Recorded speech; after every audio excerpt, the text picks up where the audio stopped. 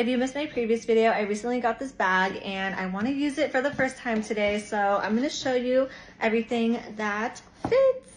We're going to pretend this is my phone because obviously my phone is recording. Hand sanitizer, Vaseline because it is so dry outside and my eczema has just been acting up. My Hermes lip gloss, card holder, Cocofloss. This is my favorite floss and this is the travel size. It is just so cute and you never know when you're gonna need floss.